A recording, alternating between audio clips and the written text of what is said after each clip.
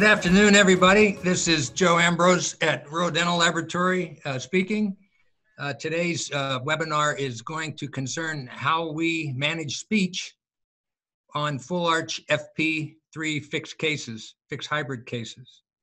Uh, I say good afternoon. You may be on the West Coast, so I'll say good morning if you're on the West Coast. But uh, this topic is something that at least I in my career have not uh, heard discussed at in lectures or whatnot very often. Uh, my career spans uh, a lot of years. I got into the dental laboratory business uh, in 1968, right out of lab school, a one-year training course, which really just taught basics. But uh, I learned over the uh, the span of my career many things. I have experience with uh, all phases of dental, you know, dental technology and dentistry, and I'm trying to offer some of that today uh, with this speech uh, issue that I have learned over the years uh, and put together a, a troubleshooting course here for, uh, for that, uh, for your practice. we get calls quite often about patient speech versus tooth position or how to, how to correct it. The doctors sometimes don't know which approach to take to correct some of these speech issues that patients have once they get new uh, restorations. So, uh, a little background about me here at the laboratory. I came here in 1986, 1985, the end of 1985. Uh, I had my own lab for quite a few years, and um, uh, one of my first uh, assignments was to develop the implant uh, part of our business, which I have been doing ever since. So in 2004, we got into guided surgery guides. Went to the first offering uh, course by Nobel for their Nobel uh, uh, Guide software, which has now turned into Nobel Clinician. And uh, from that point on, uh, we grew the department and from myself to over 20 people at this point, making guides, doing planning, everything associated with uh, with guided surgery. So we have a lot of experience with it, and since uh, we have been doing guided smile, which is our uh, guided surgical process, prosthetic process to give people uh, full arch uh, hybrid restorations the day of surgery, we have learned a lot about how to manage these cases when they come into the laboratory, what questions to ask, uh, what the doctors need to provide us, uh, bites, all those things that make a case successful. And in that context, we have also uh, been engaged in helping doctors manage uh, the issues of speech that we're going to talk about today. So, how come this isn't the down thing's not working out? Hmm.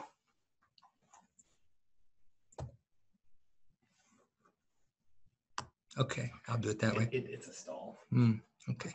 So um, this presentation is based on the premise that the changes made to improve or correct speech discrepancies are executed chairside. And so why do I say that? Uh, over the years, we have, before we even got into uh, digital dentures or guided surgery or things of that nature, when we were still doing setups for try-ins in wax, we would go through cases, sometimes one try in and we would go to finish. Other times, five or six try ins before it was time to go to finish. And some of it had to do with correcting speech issues. So, uh, my uh, philosophy is uh, that if the patient has speech issues, aesthetic issues, anything that uh, is in that realm, that those changes are easy, maybe not easily corrected chairside, but finally corrected at chairside, meaning that uh, you will see immediate results and solutions by trying to make these changes that we're going to discuss right at the chair with the patient speaking and going through all these sounds that you need to need to correct. Uh, and by doing that, you'll save multiple, I put excruciating appointments. And I'm sure some of you have been through these cases where it gets to be excruciating. Uh, you'll save time and money uh, by trying to correct these things right there when you have the patient with you. So uh, speech complications are, are, are, are common when people get uh, new uh, teeth, especially when it has to do with anterior teeth. Um, you know, the, the size of the prosthetic, and we're talking about the hybrids now that we're making, the bulk of the prosthetic, uh, strains phonetics, uh, and the doctors have to work hard to find the best compromise uh, for uh, this prosthetic to, to be in, in terms of size and tooth position so that the patient can speak properly and, and feel good about themselves when they speak because sometimes to us, when we hear people speak, it doesn't sound awful, but to them, they sound like they don't know how to talk. So, you know, they want to feel comfort, com- confident, and uh, you know, sometimes their jobs require that they speak well and have good diction, and uh, so we have to solve these problems for them. Okay, um, so uh, you know, all the clinical issues, uh, even sometimes emotional issues that people kind of feel when they're going through this process should be you should try to be solved before going to the final process uh, the final uh, appliance and that doesn't mean they all have to be solved that day but as they're wearing their provisional work on it make these changes slowly but surely until you're happy the patient's happy they can speak well look nice and the bite is is where you want it to be so uh, basically, this uh, all comes down to lips and tongues and tooth position. And both the lips and the tongues need room to move. Uh, otherwise, they can't do the function that is required by our muscles to pronounce words properly. So uh, lips need uh, lips and teeth, uh, tongues need room to move you can see right at the top, the picture has all the different sounds that we make in the process of speaking that we don't realize or think about, uh, you know, in normal situations. But uh, in a case where we, the patient has had a lot of bone reduction, they have a prosthesis that the teeth might be in a little bit of a different place, the arch form is different, they get tongue tied. And sometimes, you know, they don't know they're not confident. They all of a sudden hate the process they're going through, and, and we have to solve it for them. Uh, they, they end up with stuttering or slurred speech, and, um, and they're very confused by it. So uh, patients complain of slurring, hissing, lisping, spitting, problems with the sounds TH, F, and S. S happens to be the one that most people have trouble with that I've encountered. Uh, but usually, eh, probably in the vast majority of cases, people don't have too much of a problem with their speech, and after a little bit of time, uh, you know, they they they adjust to it. Their speech comes back to them, and they're okay. But in in severe cases or uh, cases where patients again have uh, you know very uh, visible jobs, uh, any little deviation from uh, normal is something they they won't tolerate. So one thing I've seen over the years, not only with uh, with guided surgery or uh, hybrid type cases where that we're extracting all the teeth and giving people teeth the same day, is that during surgery, for the most part, pe- people are in the supine position, and uh, just simple gravity, you know, the jaw can change positions. It tends to retrude as they're laying there, and uh, you know, the jaw has a hard time finding its way back to their normal centric when it comes time to check the bite. And, uh, you know, especially as they become lucid, you know, without us trying to position that for them or the doctor trying to position their bite for them. As they wake up, they there's, there's something new in their mouth that doesn't feel good to their tongue. They try to bite, the back teeth hit a lot of times, uh, or they're in a cross bite. Uh, and uh, something's not right. So uh, I have found that during the bite check process, it's good to have the patient sitting up where the jaw can uh, relax into the normal position that it should be in uh, or that they function with uh, during their life and try to correct, you know, get the bite into the correct position in that uh, sitting position. Uh, so the complications that can arise that can cause problems are arch width changes, uh, causing restricted uh, tongue space, and a lot of it can be due to the bulk of the provisional. but the bulk of the provisional has everything to do with where the teeth are placed. So once we put these in the patient's mouth, you know, the day of surgery, they can't talk well and, and, and you know, they're swollen. Uh, they've just had a, a lot of surgery done and they're beat up and tired. So uh, most uh, doctors will say, uh, you know, well, if you have speech issues after a couple of weeks, then let it last, you know, t- use it that long and we'll start attacking these problems because sometimes within those two weeks, everything works itself out. So uh, if it doesn't though, uh, where can we make adjustments? And that's what this uh, webinar is about. How do we adjust these and how can we correct these speech problems? Uh, quite often, uh, if, if some of these problems are, are addressed at the day of surgery with the patient laying down, uh, I, have seen cases where the vertical dimension has been changed and the bite class has been changed. and sometimes because one, maybe the bite wasn't correct in the first place when we made the case. And two, because of the position the patient was in and, and it's surgery day and they're, you know, they've been anesthetized and, and, their, and their joint has uh, been beat up during the surgery. So uh, they, some people have a hard time finding their bite right away. So where can adjustments be made? And all of these problems that we're going to talk about today uh, have a way to attack. Have, there is a way that we can solve these for the most part. Is it always going to be perfect? Not always, and there's reasons for that. But can we get close? I think we can. And can we solve most of them? I think we can. So there are different sound groups, and there's five. Uh, tongue to the hard palate, which is the DNT sound. Tongue to the teeth, which is the L and the TH sound teeth to teeth, which is the S, SH, and the Z sound. Uh, teeth to lips, which is the F and V, and lip to lip, which is BMP sounds. So once we group this into this uh, into this series of uh, sounds, uh, it's easier to try start to isolate what we need to work on, and then we can focus on the changes that we need to make. So the first one is the tongue to hard palate, which is DNT. And typically, the tip of your tongue, when we say these things, is somewhere in the area of the incisive papilla to make these sounds. And uh, there's ways that this can be corrected, some surgically. And, and I put these three slides in to show you uh, why sometimes this DNT sound be, can become a problem. Uh, most uh, placing doctors that I work with like to have the implant placed lingual, lingually in the socket, and that's okay.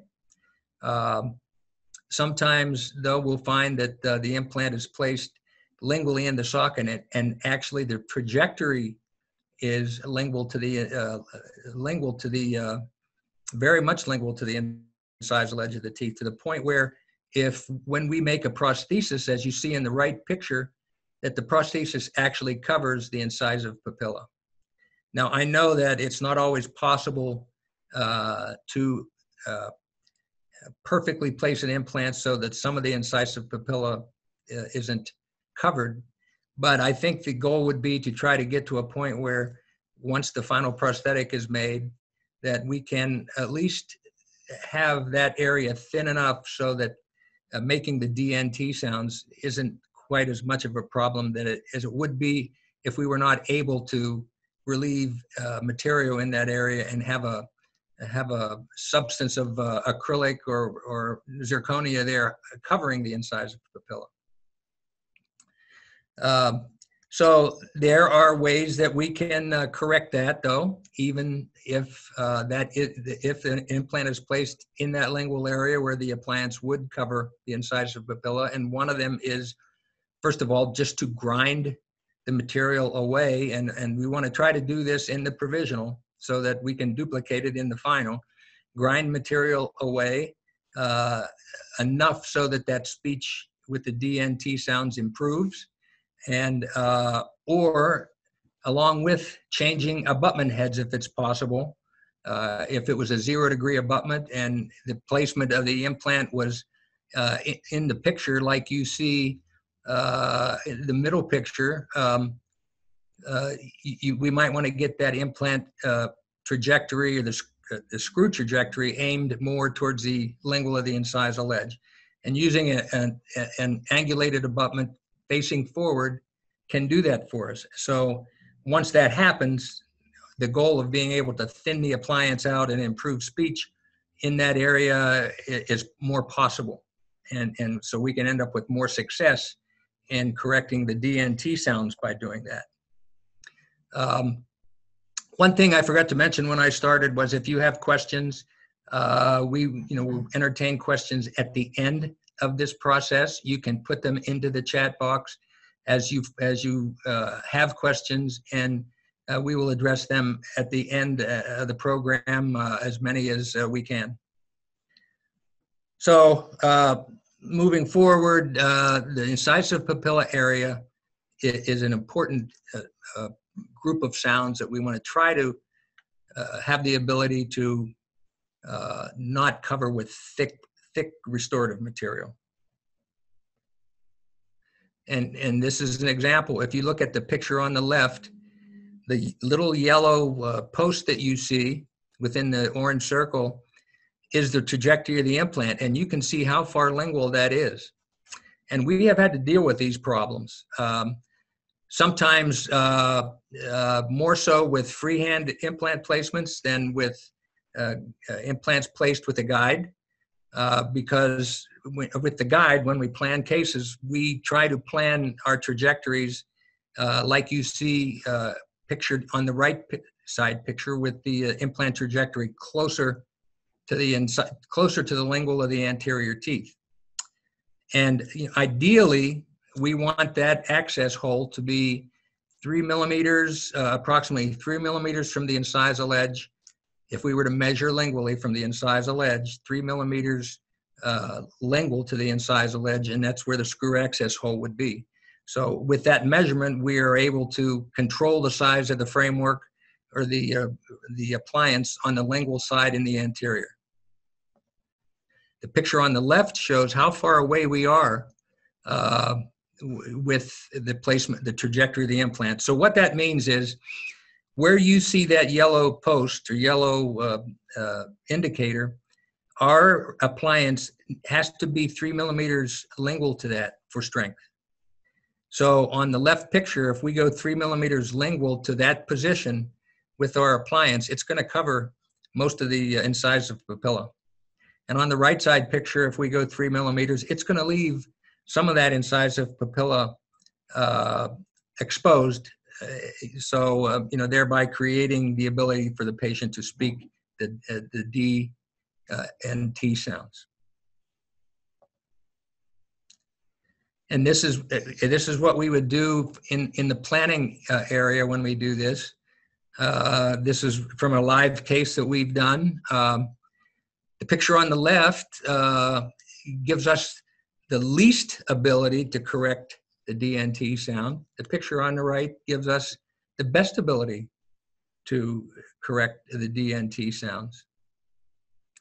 The only way to fix the position on the left to bring the screw access hole more to the facial is to get an angulated abutment and, and aim it forward so that the screw access hole exits in the cingulum area of the tooth like you see in the right picture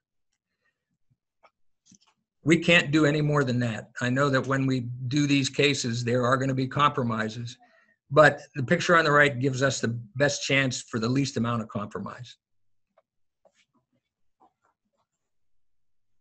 Okay. So the solutions to DNT, uh, apart from changing abutment heads, are if the patient in their provisional has this issue, uh, first of all, you know, as, as much as possible, the placing doctor, the surgeon, uh, should be cognizant of this issue and how it can be avoided by placing the implant in a position where this sound can be executed properly once the prosthesis is made. Uh, mechanical solutions to it are, as you see in the bottom picture, uh, we can take a burr and we can take the appliance and we can thin it out and shape it uh, little by little until we see the patient's speech improve to the point where we we have grounded enough that uh, that the sound improves.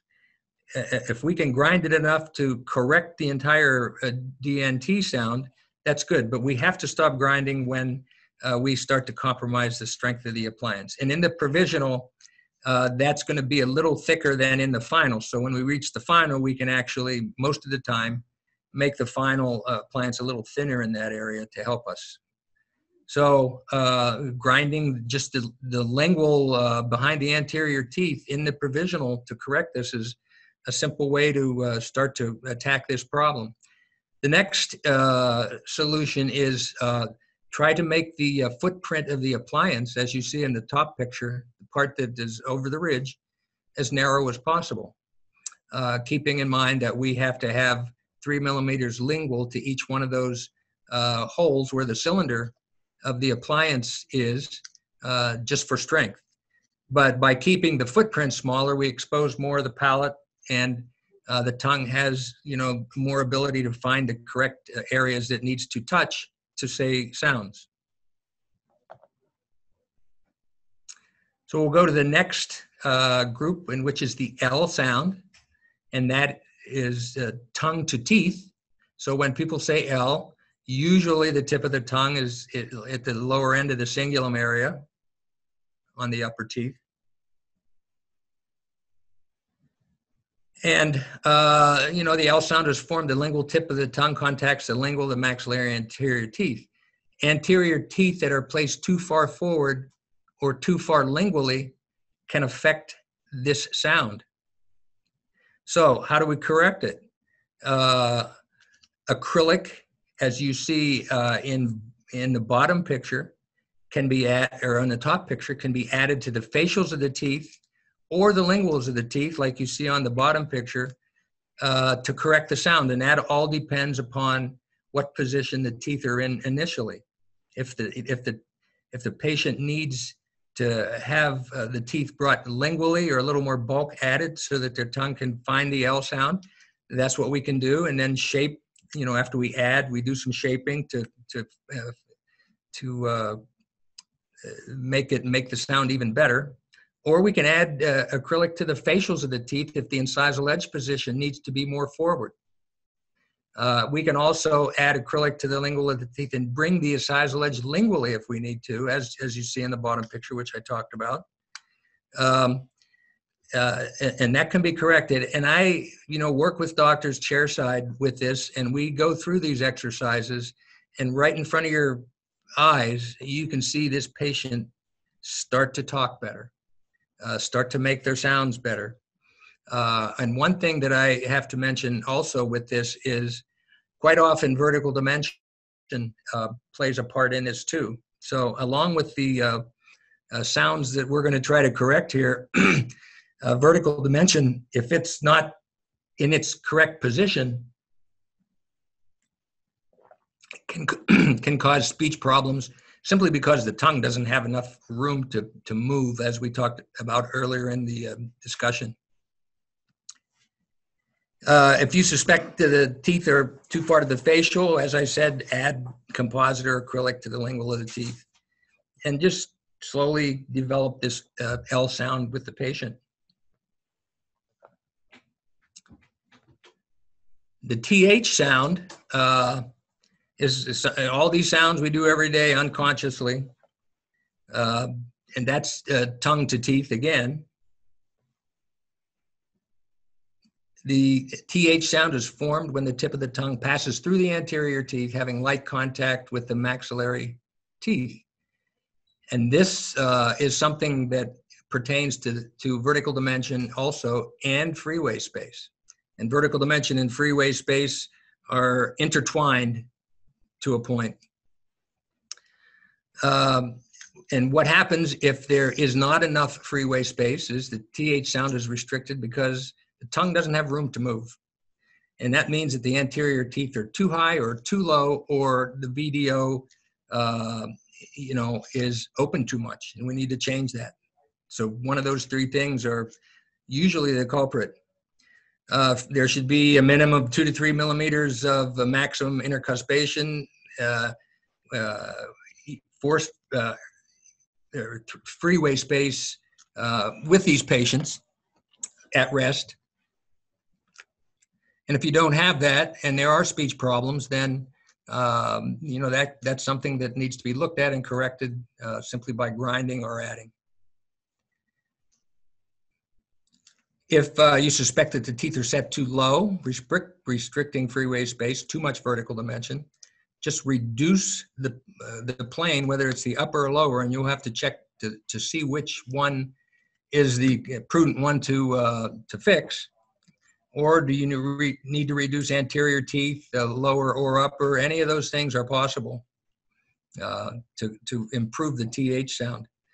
And 33 is a good uh, exercise for the patient to uh, say until we get this uh, problem solved. If the teeth are set too high with not enough anterior tooth display, then you can add just add composite to the length and have the patient say 33, 33, 33. Uh, you might have to do this a few times with your composite until the patient can say that sound properly. And by adding to that length, there might have to be other adjustments made to the opposing, uh, whether it be uh, moving lower anterior teeth or uh, vertical dimension. Uh, any of those things are possible. So, with every action, when you're trying to solve these sound problems, there's a reaction. So, you fix one thing, it may affect another, and all those things need to be taken into consideration as you go through this uh, uh, process of correcting speech. Okay, uh, teeth to teeth, S and Z. And as I mentioned earlier, the S sound is the one that I find the most common problem. And there are a couple fixes for that. So I'm sure many of you uh, have had the same issue with the S sound. It's, it's probably, again, uh, the hardest one, maybe not the hardest one to solve, but the most prevalent one. Uh, and, and, this is because a hybrid of uh, prosthesis affects so many aspects of forming this S sound. Airflow under the, the appliance, you know, it has to be controlled. So once surgery is done, usually we have some ridge contact uh, with the appliance to the tissue. And uh, but as the patient heals, that space begins to open, and the S sound uh, is something that they find is more difficult to uh, pronounce. So that means that initially, if the S sound was good, and as time goes by, the S sound becomes something they struggle with. Usually, it means that there's the space between the tissue and the intaglio surface of the uh, hybrid uh, is open too much and that needs to be filled. They'll complain of, of saliva going through there or air. Uh, and also, you know, the sound of the S and the Z isn't something that they can master. So just by simply filling that gap underneath, as you see in the top the picture on the right, at the border, uh, that can go a long way to solve these problems. If uh, if enough if the patient has had this long enough and you feel comfortable removing the appliance, you can actually do a reline uh, on the intaglio surface and correct it that way. And uh, that's, you know, a pretty simple way to do it. And it's, uh, however you do your relines, you simply take the appliance off, uh, put some material in place, reseat it, or you can take an impression uh, on, on the intaglio surface, take it out, make a model, and do your reline that way. And that will give you a perfect fit to the tissue and, and usually solve the problem of uh, the S, S, real sharp S sound or, or the whistling sound that people get. Whistling is not uncommon with provisional since air passes under the bridge uh, during speech. And most of the time it's on the upper where that problem exists.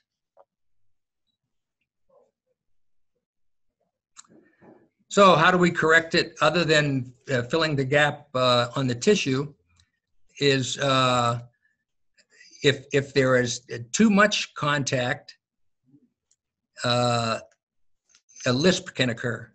So uh, too much contact with the incisal edges.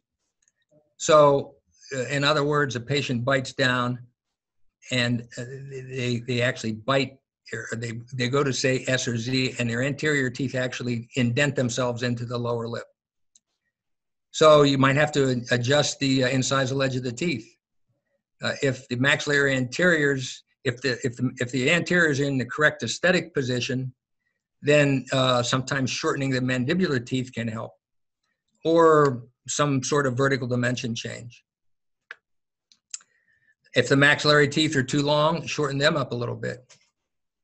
Now, if uh, the, the, maxillary teeth are good and the lower teeth are too short, they, those can also be lengthened with composite right there, chair side, and have the patient just repeat 66 until uh, the sound is uh, correct or as close as you can get it to being correct.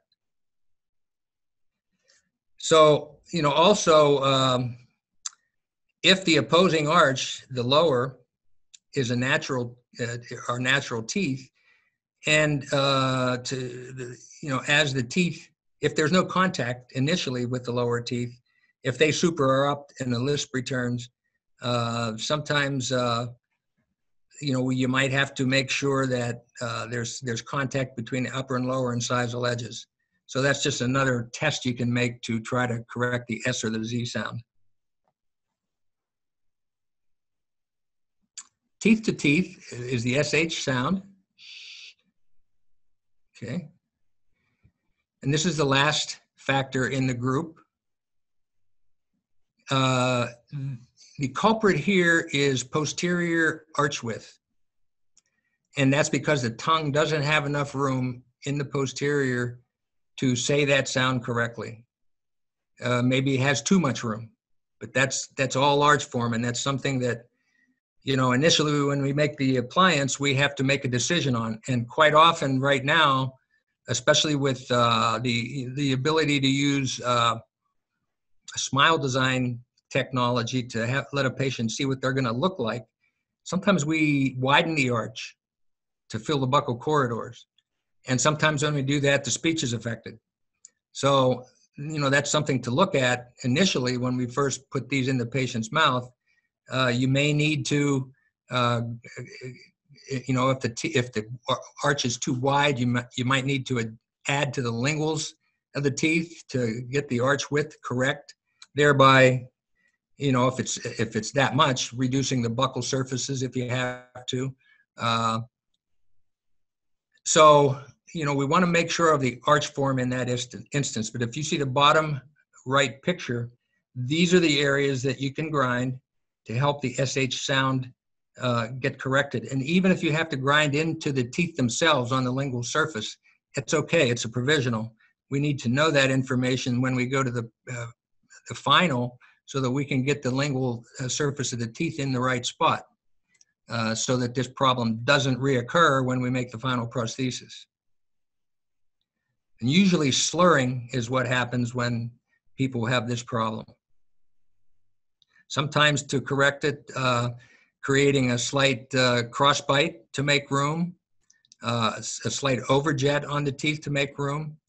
Uh, and in some cases, the patient will just have to adapt. So um, but you know, there is a way to try to improve it simply by making space for the lower tongue on the lingual of the appliance itself.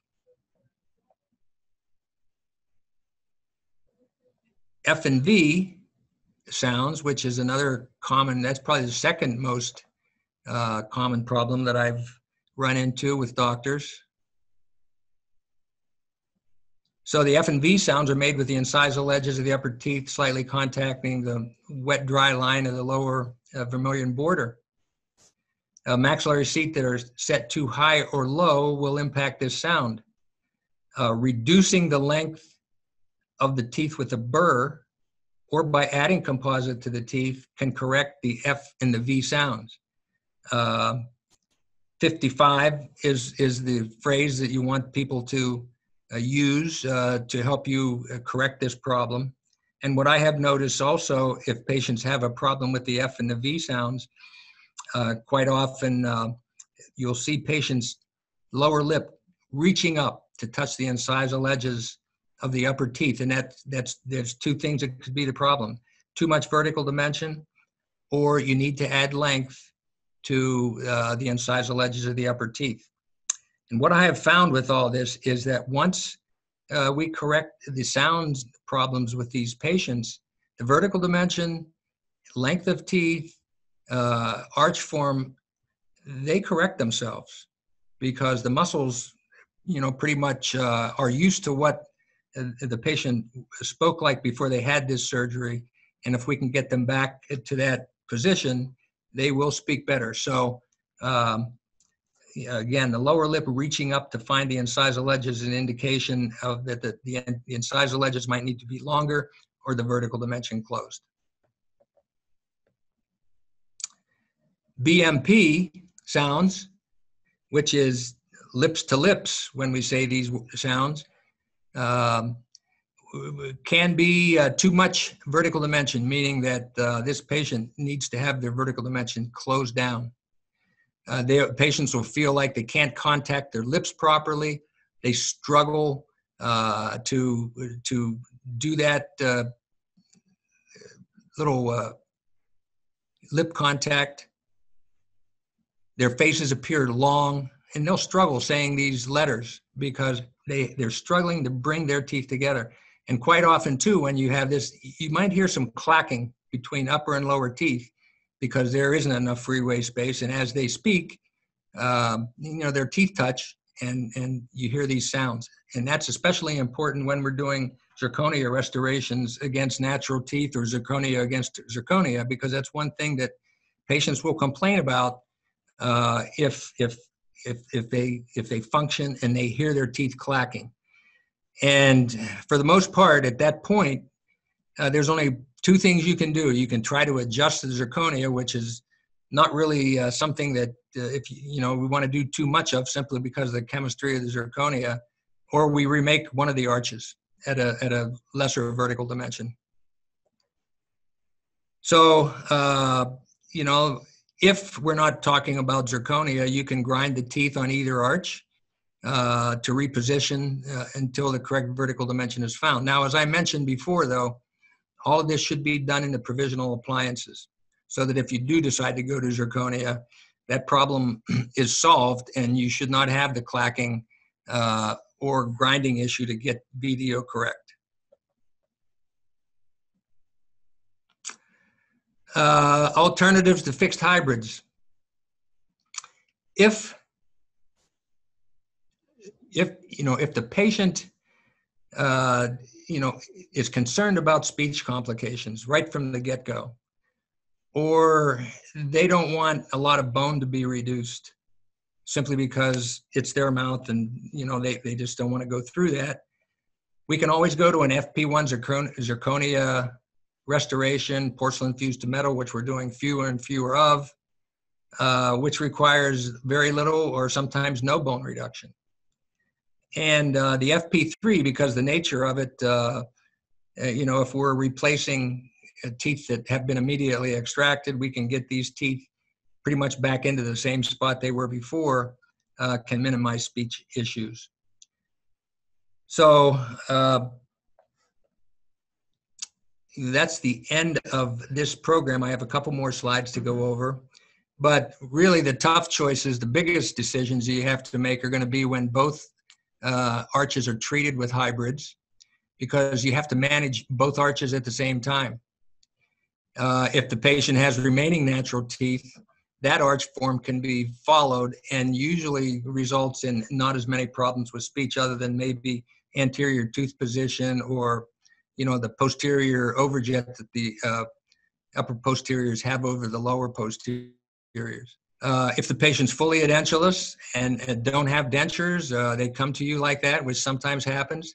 The only thing we can do are make uh, or follow anatomical landmarks. And when make we make bite rims, make sure that you try to get the plane of occlusion correct, the anterior contour of the bite rim co- uh, correct, high lip line, uh, and you know, incisal edge position correct. So we can follow that and give us the best chance of get getting the patient into a provisional that you know they're, they're going to be able to use. But when we're doing these uh, full arch cases, we should be doing uh, teeth try-ins uh, and all of that, uh, you know, if they're fully edentulous, to make sure that uh, all those things are corrected before we go to finish. So if if for some reason we get the arch form wrong, uh, you know, we're, we're going to need to do a new setup or try in with the correct arch form. If you widen the arches too far, uh, lots of times patients will bite their cheeks. Has nothing to do with speech, but it, you know, it's painful and uh, needs fixed. So the time you spend working on out phonetic details in the try-in will save you uh, time, frustration, and money uh, in the long run. So I'd like to thank you for your participation. This wasn't a long program, but I hope you find it helpful in diagnosing some of these problems and it gives you a way to attack them and solve them uh, when the you know when the need arises. We can take questions now, no problem. Okay, here's one here. I, do does ROE have a phonetics worksheet that can be used during the interim and try-in phase to walk through with patients? It's going to be very easy to make a worksheet, and we can make a real quick checklist off of this, and we will do that, and we'll post it on the website. Uh, do you find that S and Z sounds are also dependent on whether patient is class one, class three? I have a class two patient that uses that use tongue near the incisive of the correct sounds. Uh, you know, that's a good question. Bite class can have an effect on uh, sounds, especially I would think class threes. Um, usually, even I, I can't answer that exactly.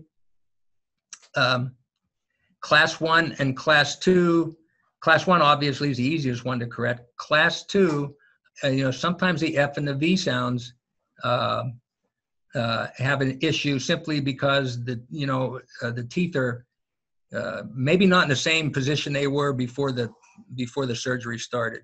My experience with class two is if a if a patient presents with a class two, uh, try to keep the class two you know, pretty close to where it was originally. Because once you start bringing the patient's teeth out, the lower lip gets affected, uh, and there's some issues uh, with phonetics and even function at that point, and you'll see a bulge in the patient's lip. So, uh, just just from experience, if a patient is a skeletal class two, it's probably not good to try to really deviate from that too much with just prosthetics. Uh, with F and V sounds, how do you decide when to add and when to subtract from upper and lower? Okay, if with the prosthesis uh, that the patient's wearing, and we haven't done any adjustments yet, if they have a problem with F and V, first of all, uh, watch their lower lip.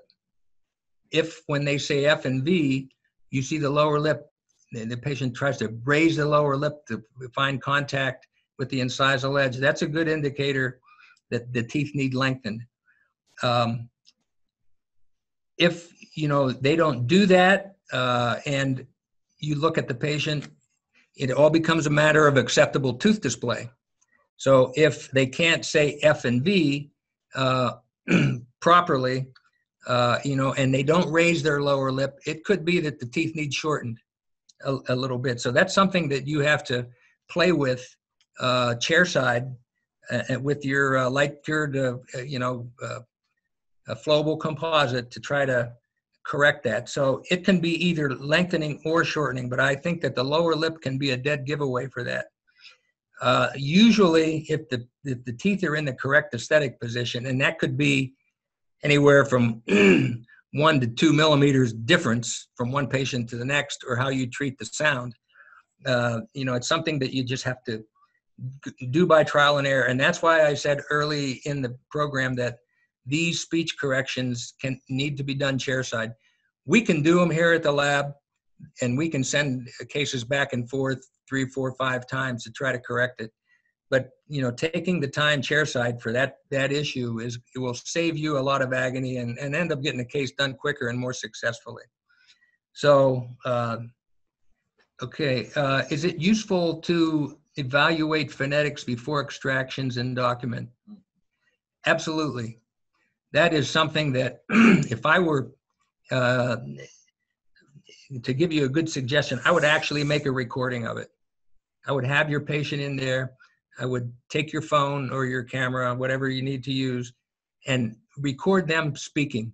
Get very, you know, close up so you don't have, so you have their whole face in the picture and have them say these sounds with the, with the sound volume on so that you have a, a, a real, uh, you have evidence of how they speak so that you can compare that speech to uh, what is reproduced when they get provisionals. It will also show you, you know, tooth length, tooth display, some of those things, you know, you kind of forget. And just by a photograph, you can't tell how it's going to affect speech. So if you re, if you look at the patient face forward and, and just videotape them talking, that is an excellent thing to do because those sounds need to be reproduced.